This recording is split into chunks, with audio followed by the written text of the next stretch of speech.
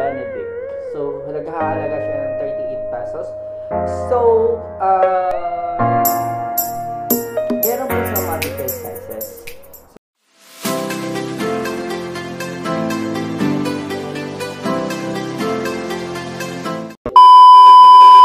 Welcome back to my YouTube channel. It's me, Papa Pogi Romeo. And if bago ka pa lang sa YouTube channel, tuwan mo na kalimutan yung subscribe button at yung notification bell para updated ka sa mga susunod videos. At i-like ang video and mag-comment po kayo doon below pagkatapos mo panood ang video na to. Ang bilis. So ayan, mag i-review po tayo ng mga products sa mga items na nabili ko through online shopping centers.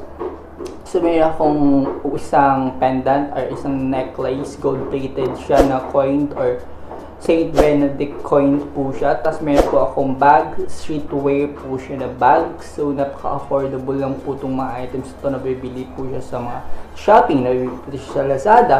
I mean, shopping. Oh, shopping.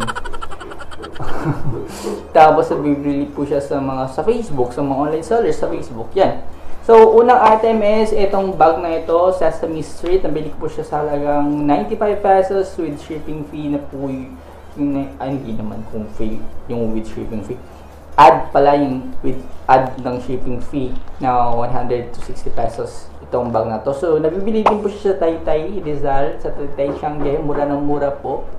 So, napakakapal po kasi ng tela na to. Makata- makapal yung tela na to. So, nag, nag, magagamit natin siya pag umaalis po tayo ng bahay or quick.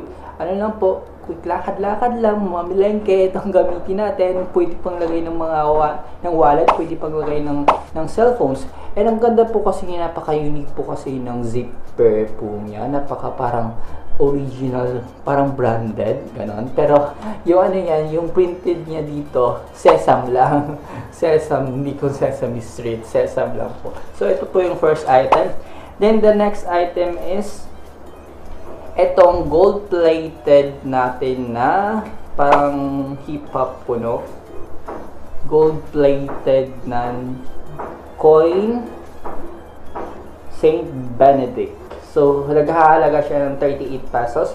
So, um, meron po siyang mga different sizes. So, meron po siyang ganito kalaki. 10 centavos, mga ganito kalaki na 10 centavos or 5 centavos. Small po yan. Tapos, merong 25 centavo, ganito kalaki. Medium na po yan. Tapos, meron pong large na kasing laki ng 5 pesos hanggang 1 peso ganito po kalaki yan, kalaki. So, ang nabili ko kasi na um, medium kasi yon Pero nabigay sa akin ngayon ito kakalaki. Gold plated po siya pero dapat hindi natin binabasa sa tubig.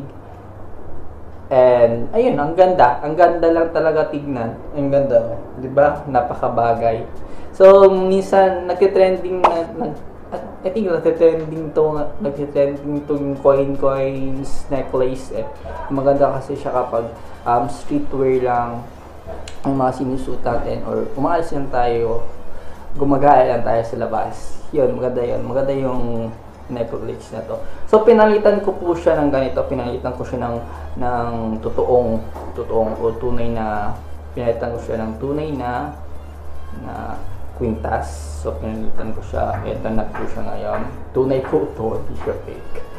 Hindi siya gold plated. Pinalitan ko na lang po siya kasi ang gusto ko lang naman kasi yung ano yung yung pendant niya. So, ayan. Ito na po yung naging result. So, try natin. Try to wear this necklace. Ang ganda po kasi. So, hindi dapat siya dapat nababasa or hindi natin binabasa. Pero ito, tunay naman kasi itong ano ko. Yan, ganito, ganito, ganito kaliit, ganito ka stylish, ka, ka fashionable, maganda, maganda. Yun lang talaga masasabi ko, napakaganda. Na ang una ko siya nakita, wow, ang ganda, gold plated. Pero dapat hindi siya, ano, hindi siya mag-fade yung color. Pag yun na, dapat talaga ang tips na hindi dapat binabasa. So, ayan, ang ganda-ganda po ng mga items na nabili ko through online shopping centers. So, I hope you guys search na rin po kayo at bumili na po kayo kung interested po kayo bumili. Yan lang naman. Mura lang naman. Mura lang naman. Mura lang naman talaga. So, ayan guys, don't forget to subscribe mga papogi and like this video and leave some comment down below.